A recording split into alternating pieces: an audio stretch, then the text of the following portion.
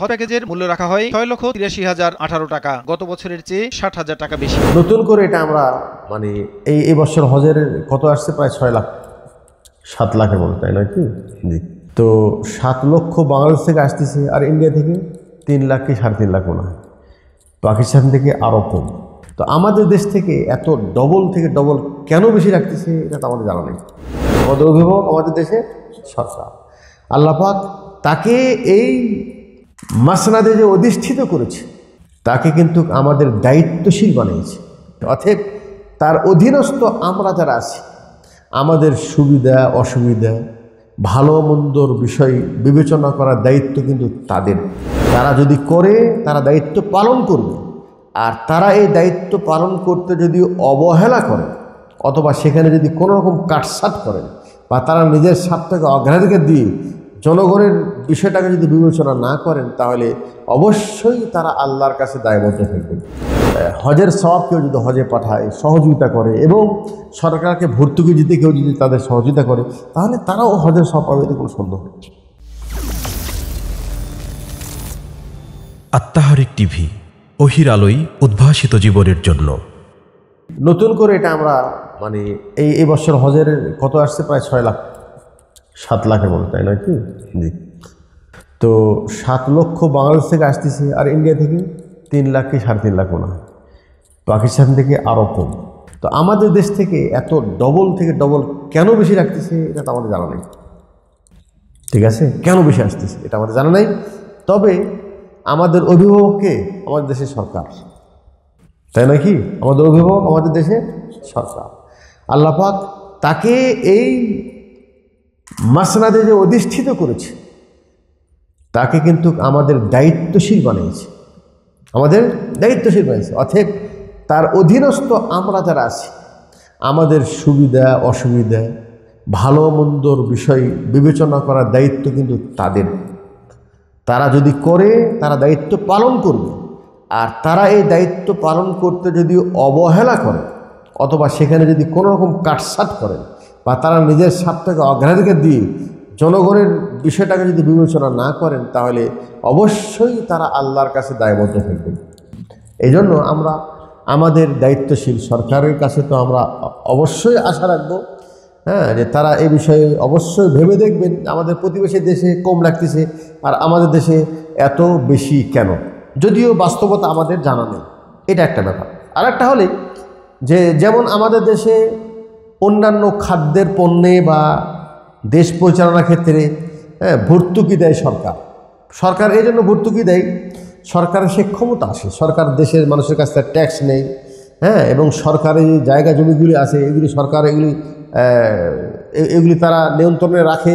তো ওই টাকাগুলি জনগণের স্বার্থে, যেখানে জনগণের প্রয়োজন, চিকিৎসার প্রয়োজন, শিক্ষার প্রয়োজন, খাদ্যের প্রয়োজন, তারা সরকারি সেখানে হ্যাঁ মানে ভর্তুকি দিয়ে জনগণের যেন কষ্টটা কমাতে পারে, এই চেষ্টা করে। এটা তাদের করা উচিত। এখন প্রশ্ন হলো এই হজের ক্ষেত্রেও এরকম দাবি করা হচ্ছে, সরকার যেন ভর্তুকি দেয়। তাহলে দেওয়া কি জায়জ হবে কিনা? অবশ্যই। সরকার, তিনি দায়িত্বশীল, সে জনগণের সুবিধার জন্য মানুষ হজ করতে আসবে। হজ এটা একটি, ইসলামের একটি রুকুন এবং একটি গুরুত্বপূর্ণ ইবাদত। যেই ইবাদতের মাধ্যমে যদি সে ব্যক্তি, মান হাজ্জা ওয়ালাম মিয়ারফুস ওয়ালাম রাজা কায়মিনা ওয়ালাদা থুম্মু সে যদি হজ পালন করে, হজের মধ্যে যদি আল্লাহ কোনো নাফরমানি না করে, নিজেকে হ্যাঁ সকল ধরনের নাফরমানি থেকে হেফাজত রেখে যদি হজ করে হ্যাঁ এবং হালাল টাকা দিয়ে হজ করে, হজ যদি আল্লাহ কবুল করে হাজ্জুল মাবরুরু লাইসা লাহু জাযাউন ইল্লাল জান্নাহ। তাহলে কবুল হজের বিনিময়ে জান্নাত ছাড়ার কিছু নেই। তো এত বড় একটি সুযোগ। আমরা তো বড় অপরাধী। আমাদের তো প্রত্যেকের গুণা ভরা। তো আমরা যদি এরকম সুযোগ পাই হ্যাঁ আমাদের দেশ থেকে এসে একটা সুন্দরভাবে হজ করতে যদি পারি, এই হজের মাধ্যমে যদি আল্লাহ পাক আমার প্রতি দয়া করে আমার গুণাকে ক্ষমা করে দেন, এটা একটা বড় মানে একটা বড় একটা সুযোগ, বড় একটা সুযোগ। এই সুযোগকে জনগণও কাজে লাগাবে এবং সরকারি পক্ষ থেকে যত সহজ করা সম্ভব, এটা করা উচিত, এটা করা উচিত। সরকার যদি ভর্তুকি দেয় হ্যাঁ এটা শুধু জায়েজ নয়, দেওয়া উচিত দেওয়া উচিত, দিতে কোনো সমস্যা নেই। আর একটা পয়েন্ট সেটা হলেই যে এটা নিয়ে আমাদের নৈরাশ হওয়ার কিছু নেই। নৈরাশ হওয়ার কিছু নেই। কারণ হজ সবার উপর ফরজ নেই। অলিল্লাহ আলনাস হেজুল বৈত মানিস্তাতা ইলে মানিস্তাতা ইলে সাবিলা।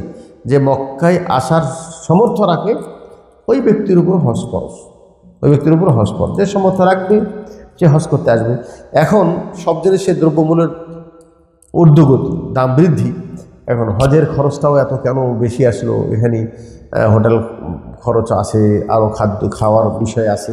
এগুলি আসলে বাস্তবে গভীরভাবে এগুলি পর্যবেক্ষণ বা এর বিষয়ে আমরাও ঢুকি নেই, জানি না। কিন্তু আমরা আশা রাখি ইনশাল্লাহ আমাদের সরকার দায়িত্বশীল, তারা বিষয়টা বিবেচনা করবে এবং হ্যাঁ সরকারিভাবে যদি এরকম একটা উদ্যোগ গ্রহণ করে, এটা একটা ভালো উদ্যোগ হবে, এটা উদ্যোগ গ্রহণ করা উচিত।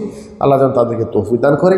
আমরা যারা জনগণ আছি, সরকার যদি আমাদেরকে ভর্তুকি দেয়, আলহামদুলিল্লাহ, এটা ভালো। কেউ যদি আমাকে ফ্রি হজে পাঠায়, ও হজের সব পুরো পেয়ে যাবে।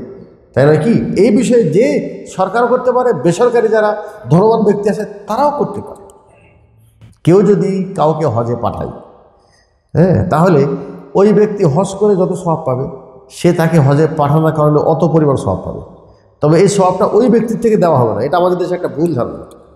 আল্লাহ কি বলছেন? মানফাত তারা সাইমান ফালাহ বিসলু আজরিস সাইম কেউ যদি কোনো শ্যাম পালনকারীকে ইফতারি করায়, তাহলে রোজাদার ব্যক্তির যত সব ইফতারি করায় দিলেই ওই ব্যক্তি অত সব পেয়ে যায়।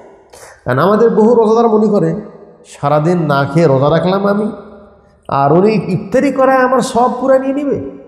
আরে বাবা, তোমার সব থেকে আল্লাহ দিবে না। লায়ন কাসমিন উজুর হিম সেইয়া এটা আল্লাহ পাক নিজের পক্ষ থেকে এক্সট্রা সব দিবে, অত পরিমাণ। তোমার থেকে একটা সবও দিবে না। আর যদি কোনো মানুষের কাছ থেকে, দেখেন, মানুষ আর আল্লাহর মধ্যে পার্থক্য দেখছে, মানুষ হলো বহির মানুষের প্রতি দয়া নেই, মানুষ কারোর প্রতি কল্যাণ করতে চায় না, আর আল্লাহ মানুষের প্রতি কত বড় দয়া উপকার করলাম আমি এনার আর এর প্রতিদান দিচ্ছে আল্লাহ আমার কথাটা বুঝেন, আর উনি যদি জানতো যে আমার সব থেকে ওনাকে দেওয়া হবে, ইফতারিতে আসতো? এই এটা জানার পরেও কিছু মানুষ এমন আছে, ওই মানে হাদিসটা ভুল বোঝার কারণে সে মনে করেছে মনে আমার সব থেকে দেই। এই জন্য ইফতারি করতে আসলে পকেটে খেজুর নিয়ে আসে। নিজের খেজুর দিয়ে ইফতারি করি যেন সবটা আমার কাছ থেকে তার কাছে না যায়। তার মানে আমরা হলো কি? সংকীর্ণতা আমাদের ভিতরে। কিন্তু আল্লাহ তালা তিনি হলো রহিম। এই জন্য আমরা যে কোনো কাজ শুরু করি, আল্লাহর দয়ার মোখাফিকুহি বিসমুল্লাহ রহমান রাহিম। ওই আল্লাহর নামে শুরু করছি, যিনি অতি দয়ালু, পরম করুণাময়। তার দয়ার সামনে পৃথিবীর দয়ার কোনো মানে হিসাবই নেই। ঠিক আছে? এজন্য হজের সব কেউ যদি হজে পাঠায়, সহযোগিতা করে এবং সরকারকে ভর্তুকি দিতে কেউ যদি তাদের সহযোগিতা করে, তাহলে তারাও হজের সব পাবে এতে কোনো সন্দেহ নেই।